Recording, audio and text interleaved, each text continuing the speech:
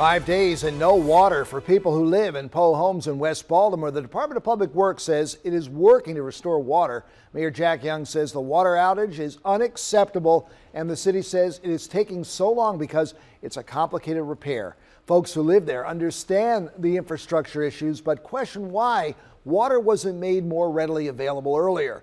They say the city's rerouting of the water has been insufficient during the repairs and people can't do much, if anything at all. No bathing, no cooking, no cleaning. No nothing. No washing, no clothes, no nothing. We can't do anything. And when I say nothing, I mean nothing. Well, the city is delivering portable toilets to Lexington and Saratoga streets. Volunteers showed up to hand out cases and cases of water on Friday. And a community group is now using portable showers and washers and dryers. And the University of Maryland Baltimore also opened up one of its buildings for residents to come over and take a hot shower. The death of a man found in the Patapsco State Park is being investigated now as a homicide. A woman walking her dog along a trail found Glenroy Copeland's body on Sunday evening right near River and Thistle Roads.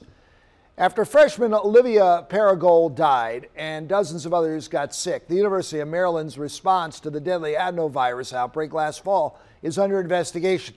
The University System of Maryland Board of Regents is in the process now of selecting who will conduct an independent review, which will include experts in infectious diseases, public health and communication, and facilities management. This comes after Governor Larry Hogan requested that the board look into the issue last month.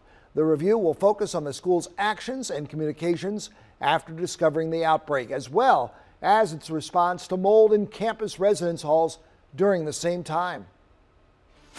Well, the weekend snapshot shows that we're looking at mostly sunny skies on both days and comfortable conditions out there with temperatures hanging out in the lower 80s for the first official weekend of summer here in Maryland. Not bad at all. The heat and humidity does make a return though by Monday and Tuesday with a chance of showers and thunderstorms. High temperatures right around 90 degrees. Then another heat wave possible here as we get towards Wednesday, Thursday, and Friday. Mostly sunny to partly cloudy skies with high temperatures at about 90. Thank you, Eric. Click with us online at WMAR2News.com for updates on top stories and breaking news. Also for news and weather while you're out there on the go. Download the WMAR2 app in the App Store. You can watch live radar and get breaking news sent right to your phone. Thanks for watching. I'm Jamie Costello. This WMAR2 News Update is sponsored by Jones Junction.